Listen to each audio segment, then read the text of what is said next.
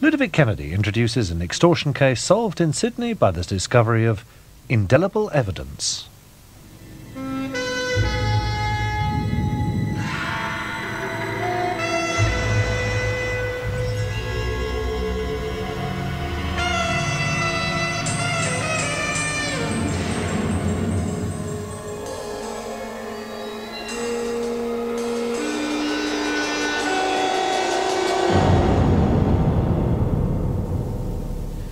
For this, the last indelible evidence program in the present series, we return to Australia.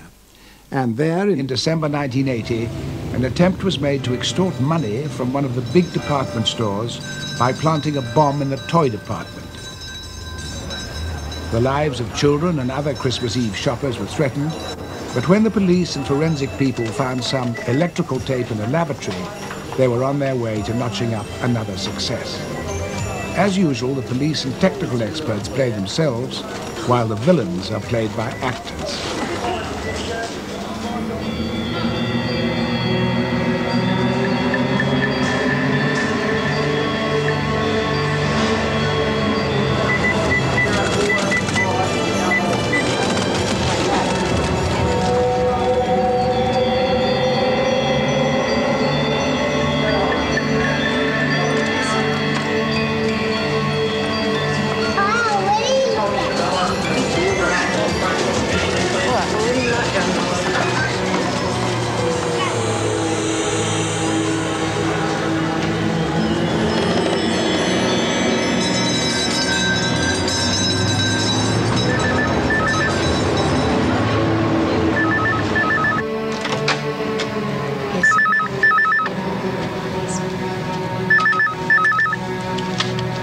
Chairman's office?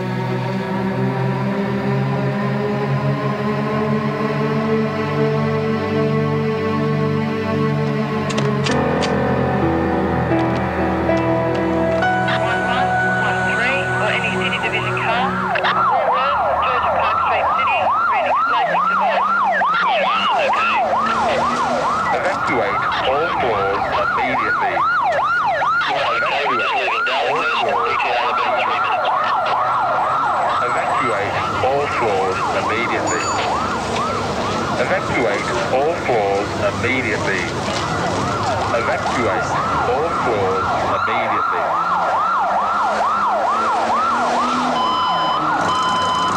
Evacuate all floors immediately.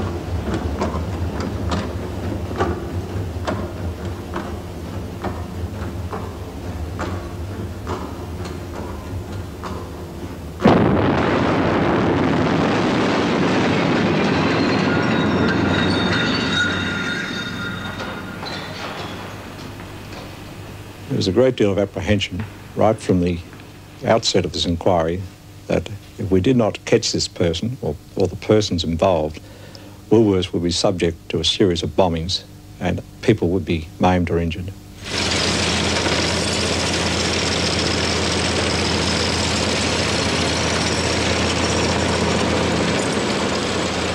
It was a callous act placing an explosive device in the kids section of a store on Christmas Eve, knowing full well that children would be in that area, and it was extremely fortunate there was nobody who was seriously injured and in fact killed. I was looking for any article that might assist us in identifying the author of the crime. It was a difficult job because the toys were blown up with the force of the explosion and they had um, cogs in them, pieces of wire, springs, etc. And uh, the device itself we were looking for might contain those items.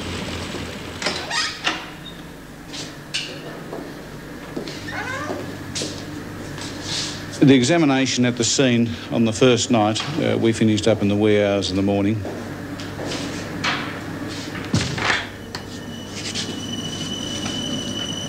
I went to the second floor of the Woolworths building to uh, use the gents' convenience there, and uh, when I was in the cubicle of the toilet, I noticed on the floor two pieces of insulation tape, or there were three actually, two were stuck together. As an improvised explosive device operator, uh, you build a number of devices yourself, and you realise it's important to have a device that's not going to blow up unintentionally.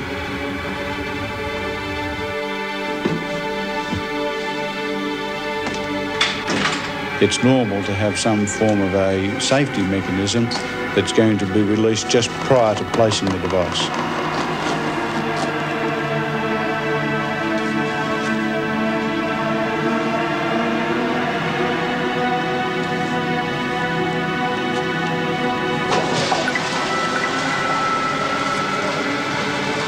A simple uh, safety device would be to have two wires that aren't joined, in other words, separated by tape, and remove the tape at the last moment and join the two wires up and the circuit's then armed.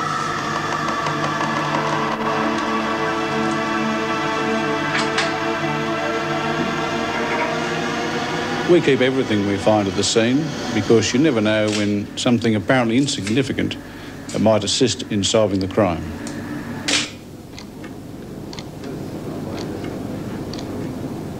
A letter was received at the Woolworths store at their head office. This was a demand for the sum of $1 million. Inspector Chivers had carried out an examination of the document, but at that particular time he was unable to produce anything of an evidentiary nature which would assist our inquiry. The letter was signed by a person who gave the name Mr Dunmore. Chairman's office. It's Mr. Dunmore.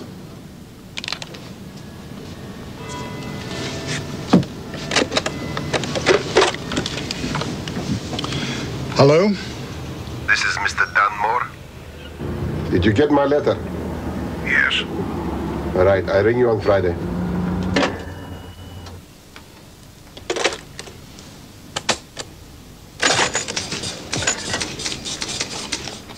We made a number of attempts to trace the telephone calls to Woolworths.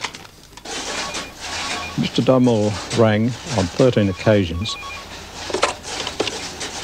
In the calls, he set out how he wanted the money made up in the ransom bag and also inserted a number of threats. Start bombing immediately if they would do that. Now, when you say bombing again, It's that up you to go... you to keep the police out of it. The exchange at Town Hall uh, was an antiquated one, and Telecom were unable to assist us with those particular traces.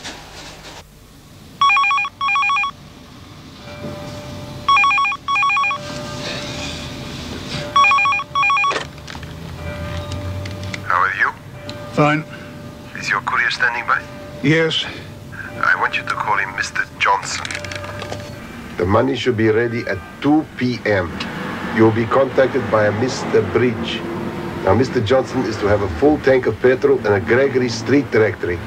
He is to wear a blue boiler suit, white shirt, and red tie. One of our detectives was chosen to take the place of the Woolworths courier who would carry the ransom money. We gave him a conspicuous orange Volvo so he could easily be followed. Hello? This is Mr. Bridge. Mr. Johnson is to take the money to the Highway Hotel at Wentworthville. Map reference 139G5. He must be in the lounge bar by 4 p.m. Uh, what car will he be driving? Mr. Johnson will be driving an orange Volvo station wagon. Registration number... to VKG. We now have that vehicle under observation. It looks like it's about to depart now. CI 4 to Alpha Command. Alpha Command by? We're eyeballing the target right now. He's heading west into Park Street Lane. We also had the cooperation of the Metropolitan Traffic Control Office, which was able to monitor the courier's movements whilst in the city. The VKG, that vehicle has now crossed George Street and is heading down the side of the town hall into George Street. Looks like it's Copy that into the western suburbs area. have eyeball of the premises. The courier's entered carrying the bag. Copy that Alpha 6. Using electronic devices, the courier was able to convey to us the instructions received from the extortionists on the phone. This information was coordinated by the operations centre and passed on to the various mobile surveillance units. This meant they could get into position ahead of the courier at each new location. And we'll be there by 1800 hours. Would you proceed to the vicinity? CI40 to Alpha Base, yeah, we copied that. We'll proceed to the next location. We'll call you when we're in position. Alpha 1 to Alpha 3, we've picked up a target. Copied that. The target's approaching Rose Bay, New South Head Road. ETA 3 minutes. CI40 to command. Command by. We're at the premises. Copy that CI40. Alpha 6 to command. Courier's left the car with a bag and entered the premises. Yeah, Brisbane Street to VKG. We now have that vehicle under observation once again. And I have a location. The courier has been directed to the Buena Vista Hotel, Military Road, Mosman. Would you proceed to the vicinity? CI40 copy. Yeah, Brisbane Street, that vehicle is in lane two, now adjacent to the... Southern spylines of the bridge. Uh, continue to report the courier's program and maintain eyeball to the top For 1, copy that. And off the cars, the courier has been directed to go to the Taronga Park Wharf, tie the bag to the wharf and throw it into the harbour. CI-30 to Alpha Base, proceeding to location. The courier has been placed under pressure to get there as fast as he can. 1, copy that. The extortionists led us on what we call a paper chase all over the city, which ended up on a wharf in Sydney Harbour. Park Wharf and wait further instruction. CI40 to command. Copy that. Command by. Campbell Cove, copy that. Alpha teams are now on foot and have taken up their positions. Uh, they will maintain eyeball of the bag at all times. Copy that CI40. Alpha 1 to base. Command by. The courier is on the wharf with the bag. We had two police launches standing by, and they moved into positions out of sight of anybody who might be watching the wharf. Head launch nemesis. They're taking up a position around the western headland from the Taronga Park Wharf. Copy that launch nemesis. Command, the bag is in the water. The bag is in the water. Copy that Alpha 6. After a while, police divers were introduced to the scene and checked that the bag was still intact. Ahead launch nemesis. Divers report that the bag is still intact and hanging about 10 foot below the surface. Alpha 1 to command. There's still no movement. The bag is still intact. Copy that Alpha 1.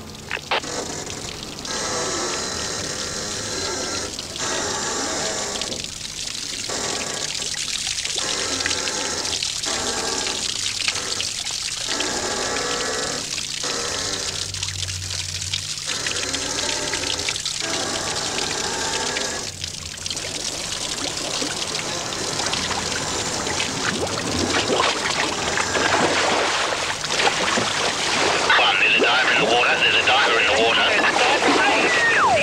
Go, we're on the way.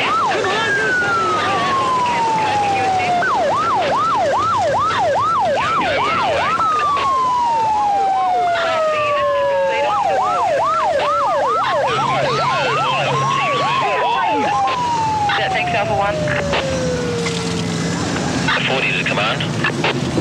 But the diver is in custody aboard Launch Campbell Cove and the bag has been recovered. The diver had expected to find the bag sitting on the bottom of the harbour. Not able to locate it in the dark, Gregory Norman McCarty had made the mistake of surfacing to find it still attached to the wharf. I was approached. I was offered to do the diving to uh, retrieve the bag. Who offered you this job? I'd rather not say. When were you offered this job? A couple of months ago in Queensland, uh, I was told there was a job going down. How'd you get down to Sydney? Hitchhiked. Is that your diving gear outside? Yeah. You mean to tell me that you hitchhiked carrying all that equipment? Yeah. Most of his story had very little substance. You understand that we're apprehensive about further explosions at Woolworths. There won't be any more explosions. How can you say that? And we were satisfied that he was a principal in this plot to obtain the money from Woolworths.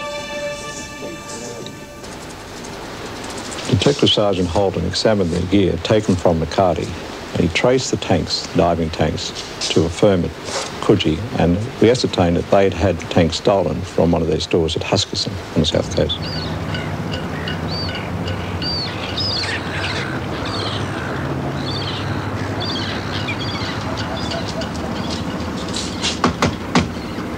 There was a suspect for the robbery at Huskisson.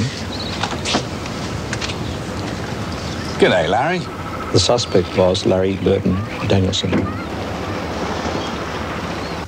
Do you recall that fellow we arrested in Sydney Harbour recently over the uh, over the Woolworths extortion? He was a diver. Yeah. Well, the diving gear he had on was stolen from the dive shop here. Well, I wouldn't know anything about that. Have a look at this photograph of the fellow we arrested in the harbour. Well, I know him. He was stopping with me. That's Greg. Ah.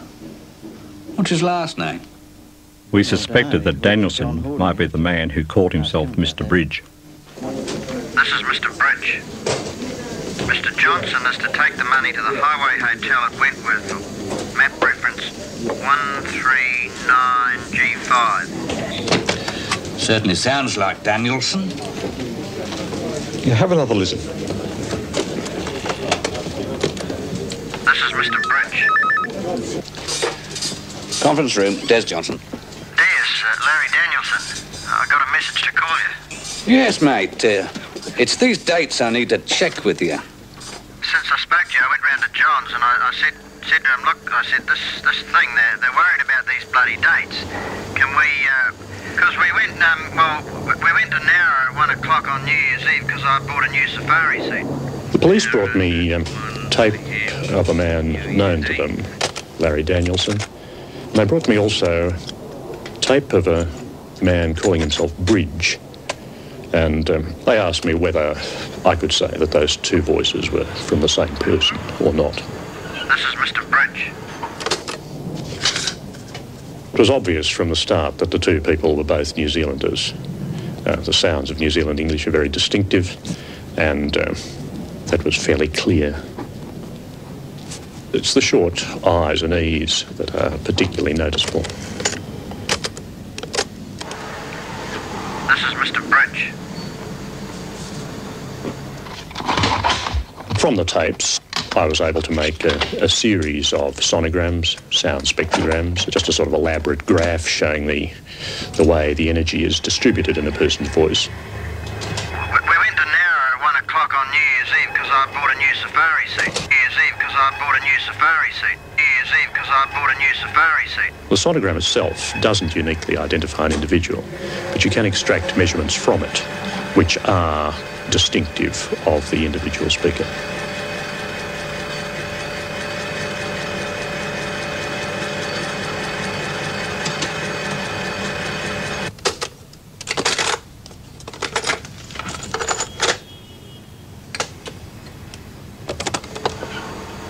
Mr. Johnson is to take the money to the Highway Hotel at Wentworthville. The money to the Highway Hotel at Wentworthville. Having made the measurements from the sonograms, I would then be able to process them, and then I could compare them and see clearly whether these two people were the same or not. This work was going to take some time. Meanwhile, an underwater propulsion unit had been found on the floor of the harbour. This unit was obviously to be used to tow the bag with the ransom money. In relation to the suspect Danielson, the underwater propulsion unit was thought to be the proceeds of another theft in which the suspect Danielson was allegedly involved. We had to try and connect the unit to that particular robbery. On the side of the scooter, there were signs of a label that had been removed. Glue was still on the side of the scooter.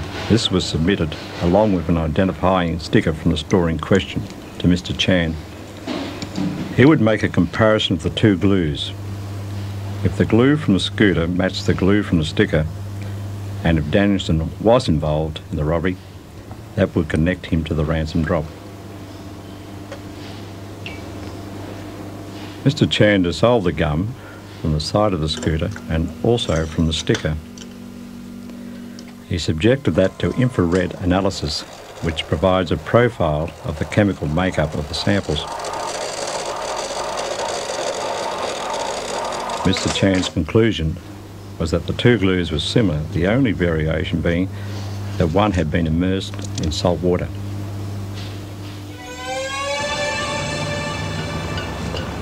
There was now strong circumstantial evidence which pointed to Danielson, but we needed to find more concrete evidence of his involvement in the bombings and the extortion.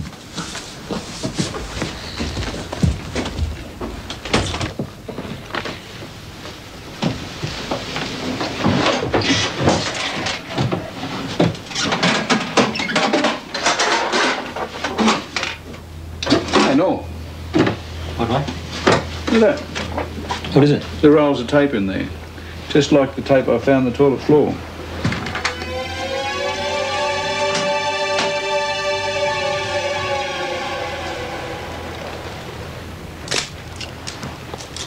I made a physical comparison of the insulation tape from Danielson's home against the tape that I'd found on the floor of the Woolworths building.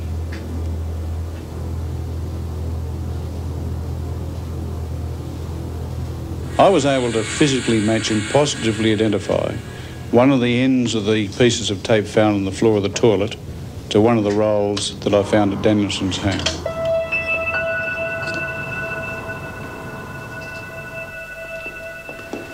Detective Holden had made an examination of the underwater propulsion unit, and on the negative terminal there was a piece of black insulation tape.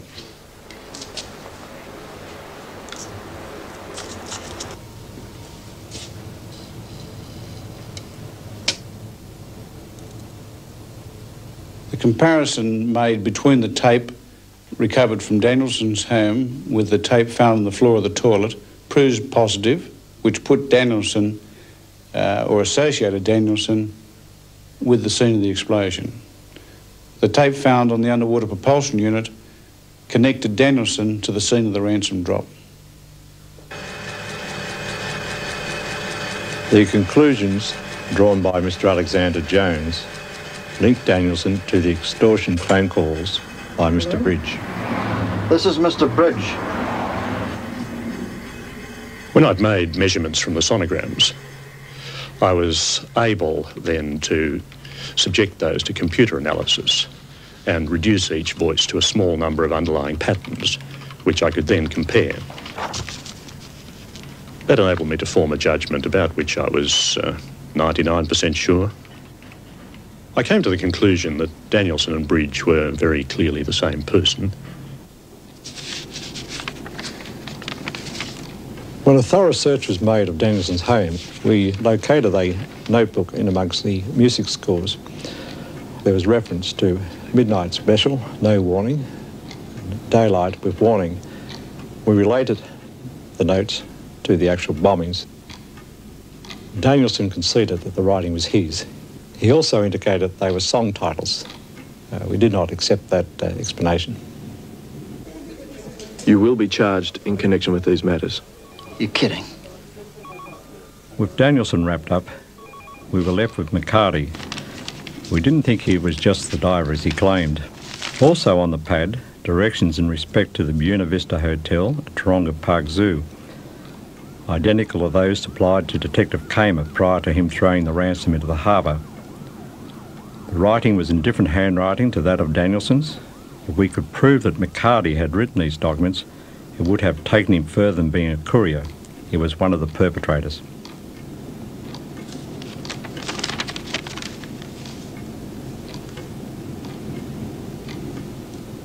It's not just one particular point you're looking for in the identification of handwriting, it's a combination of factors.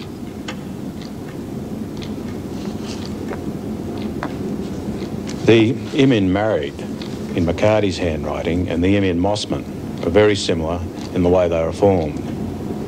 In the word Norman in McCarty's handwriting, the break after the M to the A and the flattening of the N is also similar to the word Mosman. There were some 17 points of similarity found between both writings. It was my conclusion that they're both written by the same person. Gregory Norman McCarty. I had nothing to do with the bombing. I was approached by this bloke Benny to do the diving. The handwriting implicated McCarty in the actual planning of the crime, and his story about a person called Benny had no credence. How are you? Fine. Uh, yesterday when I spoke to you, you said... One thing I noticed when I heard Mr. Dunmore's voice uh, was that there didn't seem to be any English sounds that Mr. Dunmore had any difficulty pronouncing. Now, for example, we know that Italian speakers have difficulty with uh, English sounds, th and the, the th sounds. Mr. Dunmore didn't show any difficulty with those. I don't think it will take you too long. It's not a hell of a lot of money, is it? Really? Wherever you looked for a sound that some language group might find difficult, Mr. Dunmore could say it. The structure of the language was um, very, very sophisticated for a person of foreign origin. We really don't have any choice. I'm going to have to send you onto the open market to get the balance of them. He used ways of saying things that are quite elaborate, which you wouldn't expect that a foreign speaker would have a complete mastery of. It seemed to me, uh, from my observations, that the accent was probably not a foreign accent at all, but a bogus accent that had been adopted by a person who was naturally an Australian. So Joe goes back to school and he tells Maria, I know this thing. And Maria says, you tell me, Joe. But Joe says, no, no, no, we go home. We were able to produce witnesses who had been present when McCarty had told stories, mimicking a foreign accent. They identified this as being the one used by Mr. Dunmore in extortion telephone calls.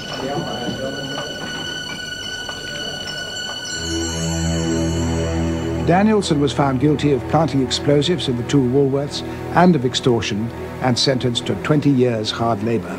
This included a non-parole period of nine years.